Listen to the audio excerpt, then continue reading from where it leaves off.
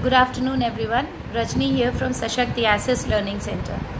Uh, today, uh, the video that I'm doing is basically from a request. Uh, it's it's based on a request from my Mumbai Super Moms group. Uh, some of the uh, parents there who are also teachers are mainstream teachers, so they they wanted to know what are the inclusive practices that they could uh, follow now that the schools are starting off. I'm presently running a super high, super busy schedule right now with lots of things going on at the same time. But this is one topic which was so close to my heart that I, I could not not address it so please excuse my unprofessional setting i'm right now not in the office but i'm doing this from home uh, but here i go so now that the schools are starting off in delhi especially mumbai of course we've had uh, almost a month of schools now going on. Uh, so now that the kids are going to come back so for teachers who are mainstream teachers and who are in who are uh, going to be having like 30 40 kids with them or maybe 20 30 whatever and one or two children in those classrooms as mainstream kids uh, as as special needs kids in the mainstream uh, what is it that a teacher needs to see there to be able to be of optimum help or maximum benefit to the kid? And second scenario if you are a special needs teacher in a special needs setup and you have seven eight kids there in the classroom then uh, how do you how do you you know uh, what do you do? Okay so in the first setup which is purely an inclusive setup that you know a kid is going in the classroom as a teacher what I, I can share what I did, what are the things that clicked in my case, what are the things that didn't work in my case. So, as a teacher, what I did was the first thing is that I used to observe the child. I observed the child completely to see what is it that he or she is doing. So, after coming back from like one and a half month of break, uh, the chances are rare that the child will be the same level at which he was when he went either the child is going to surprise you completely because the level will be so different and the parents would have you know worked around with the kid for like uh, one and a half months. And so uh, it'll be it'll come like a pleasant surprise to you or the kid would be a level that you'll be slightly disappointed that okay you know we taught him so much and now he's kind of forgotten. So either case first two days what you need to do is I mean, I, I don't say what you need to do, that's for you to figure out. But what I used to do is that I used to observe the kid totally. So if I'm talking, is the kid doing you know something or playing with a thread or squirming or looking outside the window or slightly or simply walking away of the classroom? What is happening? Thereafter, uh, I devise my strategies. If I feel that okay, the attention span is so much shorter, so the first thing to do is the distance between me and my kid. The distance between my eye contact and this particular kid has to be reduced completely so that every now and then i'm looking at the child. While i'm talking to the whole class i'm also addressing this particular kid. And in a very non-threatening in a very non non-threatening is a wrong word but in in a very um, uh, you know very friendly very open kind of way. So while i'm talking to all the kids while coming here and there i'm kind of ruffling this child's hair or you know very gently nudging so that if he's watching here and there and i'm doing this or i'm tapping on the table and i'm like okay there. And then i'm teaching alongside. So the distance between me and the kid has to be very less so that the distraction the distracting element is not there. Not sitting next to any other naughty kid because you know that kid is doing something something is whatever this one's getting distracted. So that's another thing. Next not close to a window not close to something where lots of movement can happen. Uh, okay. Is he suddenly getting fascinated towards a particular red color or something which was not happening? So you have to keep your eyes open. What's happening so if nothing like that great. And so another thing that i would do when kids would go in a pe session or something they're out i would quietly open the bag and see the location of the things in his bag. So where is the pencil box? Where are the things? Because i don't want to be spoon feeding the kid. But at the same time i want to know where exactly so that I can help. So when the you know when I come in and say okay let's do this and then the child is fumbling with the bag and still not able to take out the pencil box, I know it's in the small zip. So while because my focus half my focus is there on that kid along with the rest of the class okay but that's the one good thing about us teachers and about us women we can multitask to an amazing extent yeah and we can have the same emotion for our own kid as we can have for all other children. So that's that's the beauty of being a teacher and being a mother. Okay uh, so then when this child is fumbling and trying to take out his pencil box and you simply quietly while you're talking okay kids take out page number so and so whatever and you're just going to him and saying small pocket check the small pocket open. And you're just helping a little bit with opening the zip. So the child can see take out the pencil box. So he's struggling with opening it and then you tuck you just do that while you are talking and you help the child be on track so that at least the kid is not you know here and there and all over the place. So so that he's copying. So half your attention while you're in the whole class and you're talking to other kids and looking at them and everything is there on this kid is he writing? Is he not writing? And while on your way here and there say write write write down. Or or if you're explaining at times what a teacher can do uh, that was a very innovative way that you know we figured out.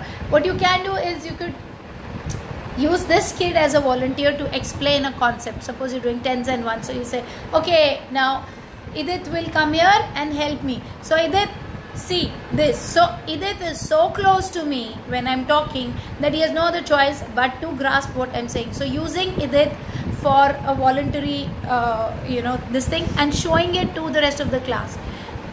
And then uh, sometimes it could also backfire if you're not very careful because if they're young children they might say ma'am to sirf idit ko karti hai.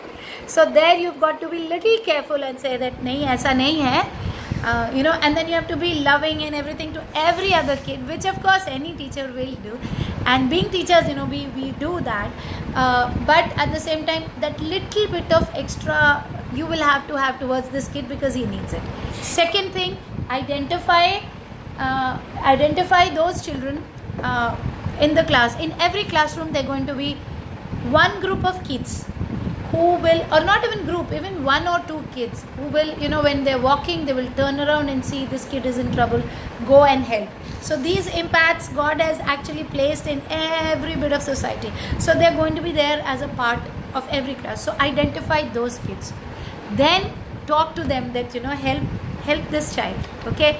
Um, uh, but help doesn't mean that they are going to do everything for the kid burdening that particular kid and um, further handicapping kind of not handicap that's the wrong word but making it more and more easy for the kid that he's not even learning his skills. So he's waiting for this one buddy to come and open his purse and all of that. So no you have to be careful that how much help is this buddy giving okay? So at the end of the day the job is to empower this child. Now this is about the classroom management about the buddy system. Alongside uh, i would want to talk about the curriculum uh, modification. So when i say the first two days you're going to observe the kid please make sure that in your observation you see that uh, you know how much of math how much of english is he getting? Is he able to understand? Is he not able to understand? So plan a class in such a way that after explaining after doing i mean that's what i used to do that after explaining and it worked very well. And I'm, i've given certain questions to the group. Then i'd say okay i'm coming to every table to see how are you doing and then i will start from that kid and then move to various tables. And then in between time and again i would make sure that i'm coming back to this kid while i'm also looking at other kids and i'm kind of coming back to this kid coming back to this kid to see if he's on track or not. At times when i feel he's not on track then i would specifically keep the last 10 minutes for this kid and some other children who are like him. So it's purely purely multitasking. I mean how i figured this out in my uh, you know overall thing was that I, we once had this one teacher uh, who was a uh, you know elementary school teacher. And she said to me she was managing a fantastic group of 40 kids. And there was this one kid who was adhd and asd and he was on her you know she was holding him like this in her lap. Very young kid you know junior kg Uh, so she she was and she was teaching. And she's teaching on the board and she's looking in his eyes and she's teaching and she's teaching on the board and she's looking at them. And i said how do you manage to do this? I mean this is brilliant. And she said if i had five kids and one of them had a problem would i go anywhere to learn how to manage? That was such a beautiful statement that stuck with me that if i had five kids and one of them had a problem i would make myself available to all five to the degree that they need. And the fifth one who had a problem or the third one whichever one who had a problem would get the maximum bit of my attention while not annoying the other kids too. Okay because this kid needs that attention. So as a teacher this is how we have to be multitasking between kids. So when you see that he's just not able to do that math sum of carry so you have to keep your eyes there. And then after the class like it's over or take out five minutes and just give him a much smaller sum and say just do this and see if he can do that. If he cannot do that also give another smaller. Take it to the level where you see ah so this is what he's doing. And then you will have to prepare a separate worksheet. When you've explained in class explain in a way that you're saying okay now we're doing this and a little bit of revision we're doing also this.